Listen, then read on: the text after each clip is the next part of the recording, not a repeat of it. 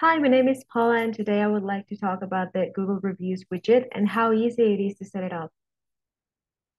As always, you will be able to find it here on IDX Add-ons website. The Google Reviews widget will allow you to display the five most recent Google reviews on your website. All you need to do is enter the name of your business as it appears on Google Maps and select one of the options from the drop-down menu. For example, this one.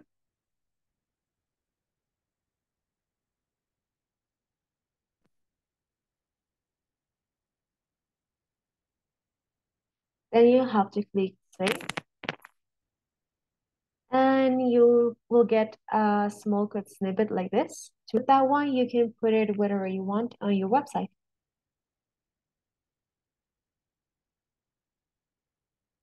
I'm gonna copy it and run it on JS Fiddle to show you how it would look like. I'm gonna copy here and then run.